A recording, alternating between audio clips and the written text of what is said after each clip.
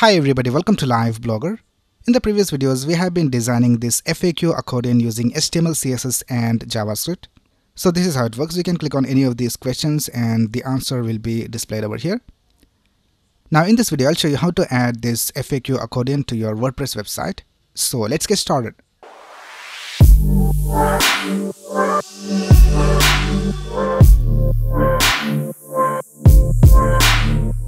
Right here I'm in my WordPress dashboard and uh, for running this uh, WordPress website locally I'm using a software called Local by Flywheel.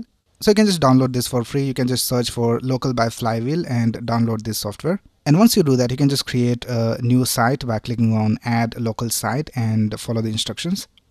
And after that, just go ahead and start the site and log into your WordPress dashboard. So here I'm in my WordPress dashboard and uh, let's go ahead and create a new post and we will add this FAQ inside a new post. So let's go over here to posts and let's click on add new. Now this is the new Gutenberg editor in WordPress and it has made it easy for us to add custom HTML and CSS and even JavaScript to your posts. So here for the title I'll just type frequently asked questions. And now here you can go ahead and add new blocks so you can just click on this uh, plus icon and add any of these blocks over here. You can browse for all the blocks over here. And you can add any of these uh, right here. Now here I'll just add a paragraph. So you can just directly type over here. So I'll just type these are some frequently asked questions. If you have more questions just contact us.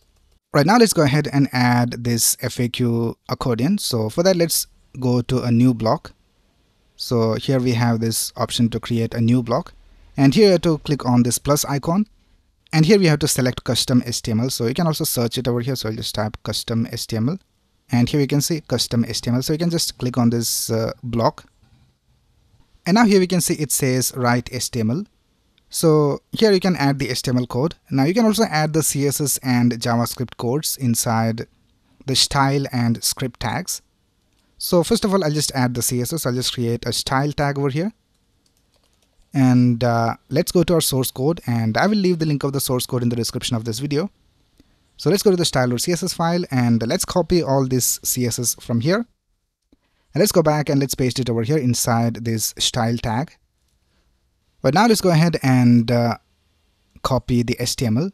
So let's go back and let's go to the HTML file and let's copy this HTML from here and let's paste it right here.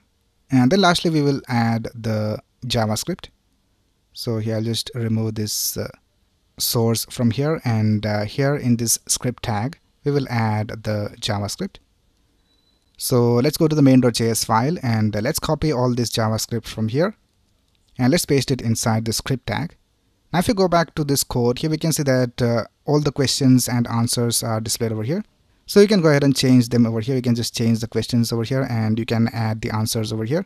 If you want to add a new answer, you can just add a new string with double quotes after this comma. And if you want to create a new question, you can just create a new object like this. And uh, in the same way, you can also delete it. And if you go to the HTML file here, we have this heading. So this is the heading that we see over here. So you can just change the heading to whatever you want. But once you're done all of that, you can just go ahead and uh, click on publish. So let's click on publish and here also we'll click on publish.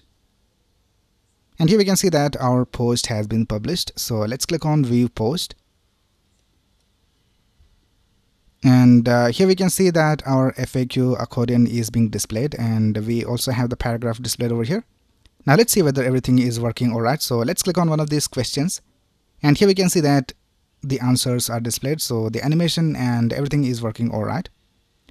So that's basically how you can add a custom FAQ accordion to your WordPress website.